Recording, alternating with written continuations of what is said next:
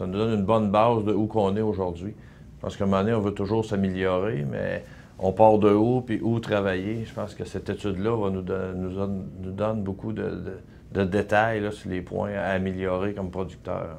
Parce que surtout dans la partie environnementale et les crédits de carbone, c'est comme de l'énergie, c'est de l'argent de, gaspiller. Fait que si on est, on est capable d'en économiser, ça va être bon pour les producteurs. Fait qu'on ça va être gagnant-gagnant. Souvent, c'est un manque d'information que présentement, avec toute l'information, on va être capable de mieux, mieux nos producteurs. Il faut, le communiquer aux consommateurs que le produit laitier, ben, l'empreinte carbone ou l'empreinte euh, socio-économique est bonne. C'est beaucoup de l'éducation qu'on fait sur euh, notre production et nos produits qu'on met en valeur.